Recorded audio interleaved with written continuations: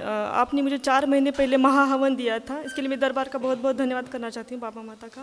खुश हो गुरु जी तब से मुझे अल्सर में और स्लिप डिस्क में बहुत आराम हुआ है गुरु जी महाहवन करने के बाद। अल्सर वो सब गए। स्लिप डिस्क भी पूरा ठीक हो गया गुरु जी मैं धन्यवाद देना चाहती हूँ दरबार को।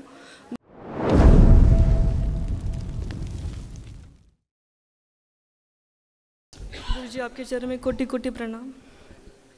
गुरु जी प्रणाम गुरु जी खुश रहिए। गुरु जी अभी मेरे डीएनए पे- हाँ बेटा खुश प्रणाम गुरु जी खूब गुरु जी प्रसन्न मेरे डीएनए में चार लोग हैं। स्वस्थ रहिए। गुरु जी मैं आपने मुझे चार महीने पहले महाहवन दिया था। इसके लिए मैं दरबार का बहुत बहुत धन्यवाद करना चाहती हूँ बाबा माता का। खुश हो गुरु जी तब से मुझे अल्सर में और स्लीप डिस्क में बहुत आराम हुआ है गुरु जी महाहवन करने के बाद से। और मैंने तीन चार दिन पहले गुरुजी महामृत्युंजय भी कर लिया है और आपसे कवच भी ले लिया है गुरु जी अभी सिर्फ़ गुरु जी मुझे वीकनेस है थोड़ा। पाल्पिटेशन होता है वीकनेस होता है थकावट सी महसूस हो रही है अभी मुझे। पाल्पिटेशन थोड़ी थकावट सी महसूस हो रही है। और बाकी सब ठीक है गुरु जी सिर्फ़ जब एसिडिटी बढ़ जाती है तभी मेरा पेट दुखता है। बाकी अब अल्सर में बहुत बहुत जितने आराम लोग यहाँ मौजूद हैं एक बार आँखें बंद करें सभी लोग जिन्होंने संकल्प किया। चाहे पदयात्री हो चाहे आप लोग सभी लोग। या पदयात्री हमें कहीं सुन रहे हो तो वहीं खड़े खड़े संकल्प कर लें। बाबा माँ को प्रणाम करें, भगवान भोलेनाथ माता कामाख्या को प्रणाम करें, दरबार से प्रार्थना करें। पूजनी बाबा जी आपकी कृपा से हमारे सभी रोग और क- भोग, सभी रोग और भोग कट रहे हैं और नष्ट हो रहे हैं। आपकी कृपा से हमारे असाध्य रोग भी नष्ट हो रहे हैं। लेकिन यह रोग और भोग कटते समय होने वाली पीड़ा जो हमें होती है, कृपा करके वह पीड़ा, वह कष्ट पैदा करने वाली, देने वाली स्मृति भी नष्ट कर दी जाए।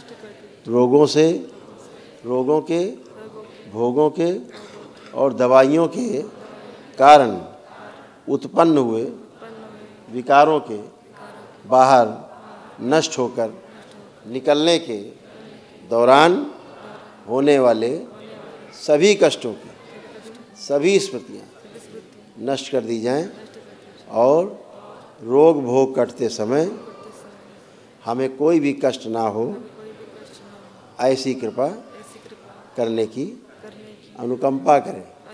आपके सदैव ही ऋणी रहेंगे वेल इनका संकल्प पूर्ण कर दिया जाए।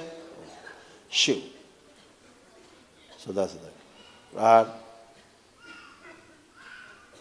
पाँच बार बोलिए आप लोग नमः शिवाय।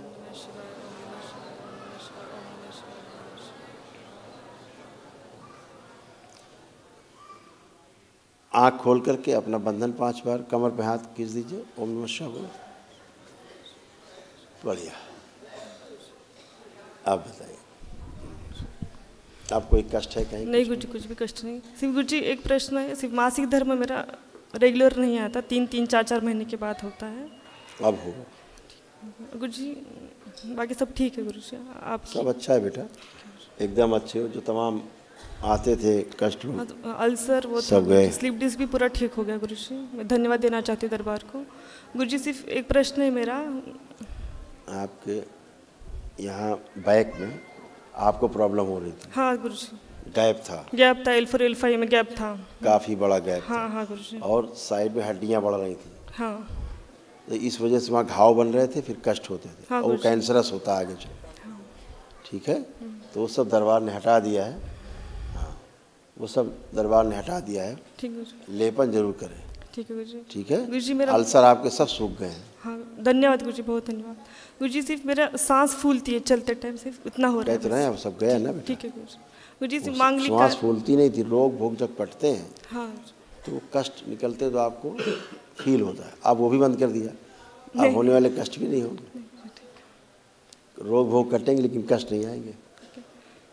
है। ना? गुरु जी खुश मांगलिक कार्य का पूछना था। योग अति शीघ्र ठीक है। धन्यवाद गुरु जी बहुत ऐसे जल्दी घंटियाँ बजने वाली। बहुत बहुत धन्यवाद गुरु जी बहुत धन्यवाद। बाबा माता का आपका बहुत बहुत धन्यवाद। धन्यवाद। दिख रही ना? ये तुम्हारे पीछे दिख रहा तो वो दरबार ने बताया। तो क्या लिखा है? इनके पीछे क्या दिखा? ये सब घंटियाँ माता का स्वरूप पीछे दिख रहा? दिख रहा। बहुत धन्यवाद गुरु जी बहुत हाँ। बाबा माता का आपका बहुत बहुत धन्यवाद गुरु जी खूब खुश। कृपा बनाए रखना।